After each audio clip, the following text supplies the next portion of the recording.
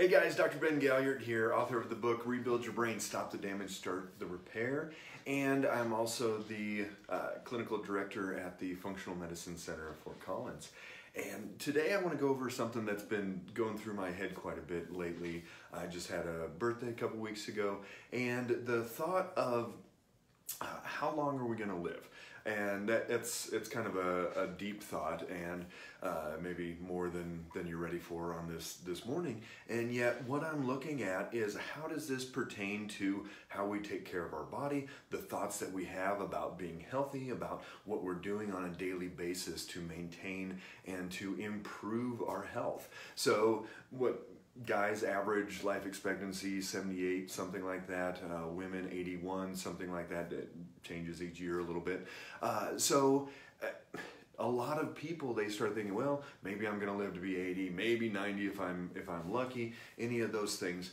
Uh, and so then you you kind of take your life and you move through that process. But what about this thought? What if you think, okay, you know what? I'm going to do everything I can and I'm probably going to live to be 120 years old. So think about that concept for a second of living to 120. Does that change what you're thinking about in this present moment, today, what you're doing for your health? Are you going to eat a little bit differently? Are you going to exercise a little bit differently? Are you going to do things different based on that thought of living to 120 or whatever you want that thought to be? 110, 150, different people have different different concepts on there. Um, are you going to change your concept of what retirement is going to look like and that you just need to arrive at this place of, okay, well, good, now I'm done working and I can just go sit on the beach somewhere?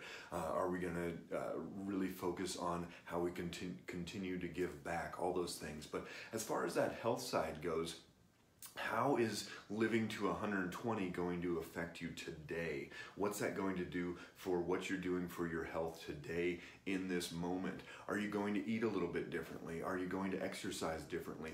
Is the exercise going to be more sustainable exercise? So if you're doing something that's uh, really wearing down the body, wearing down joints, things like that, are you going to think about differently? Okay, well, um, maybe I, I just need to survive until 75 and then my body, oh, whatever, I'll probably wear out. Well, if you're going to be alive another 45 years after 75, well, don't just wear your body out and, and be, be crushed in the knees and all these different things. So what can we do? Can we stabilize our blood sugar? Can we do things to stimulate our brain? You know, by the time um, for me, by the time I'm 75, 80, 85, they're going to be having organ transplants, all types of different things, stem cells, stuff that we don't even know that's out there that's going to be able to increase organ life expectancy.